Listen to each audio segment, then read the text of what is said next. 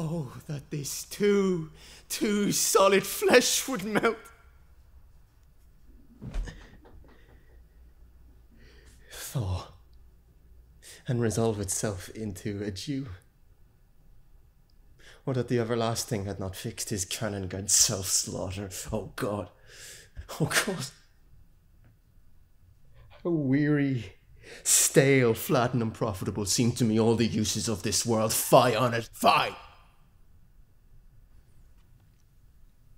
Tis an unweeded garden that grows to seed.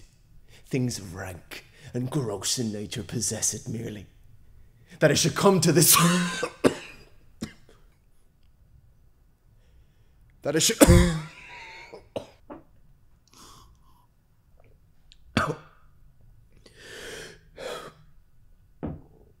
that I should come to this. But two months dead. Nay, not so much, not two. So excellent a king that was to this Hyperion to a satyr, so loving to my mother that he might not but teem the winds of heaven visit her face too roughly.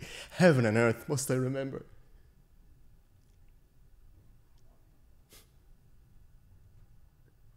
Why, she would hang on him as if increase of appetite had grown by what it fed on.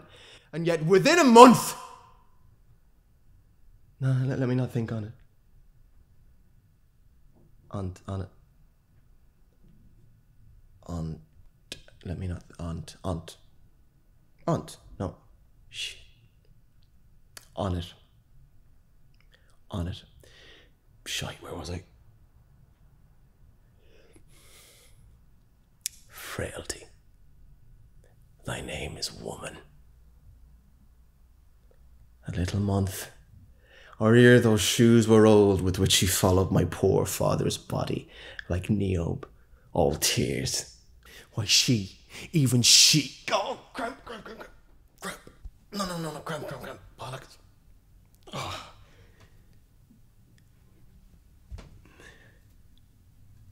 oh, God. A beast that once discourse of reason would have mourned longer. Married with my uncle, my father's brother. And yet no more, like my father, than I to Hercules.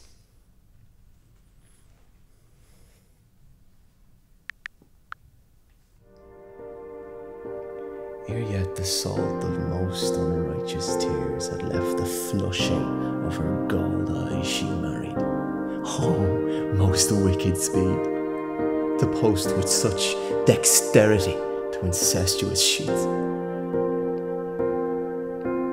It is not, nor cannot come to good, but break my heart, for I must hold my tongue.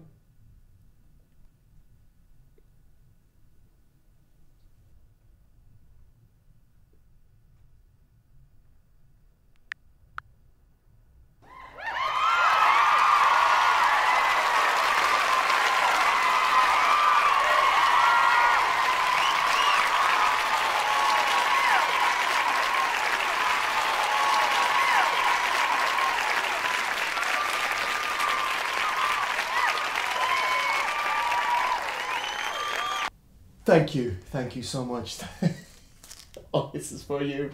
This is for you and for me. But mainly for you. Thank you.